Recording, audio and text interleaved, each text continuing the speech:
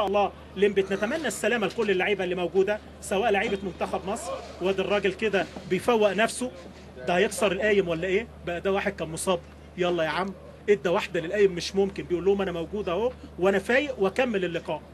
عموما 8 دقايق وأدي واحدة للقايم الثاني يعني بنشوف كده يعني مشهد هيبقى النهارده مشهد اللقاء اللي بيعمله الحارس لمبت اللي قدام.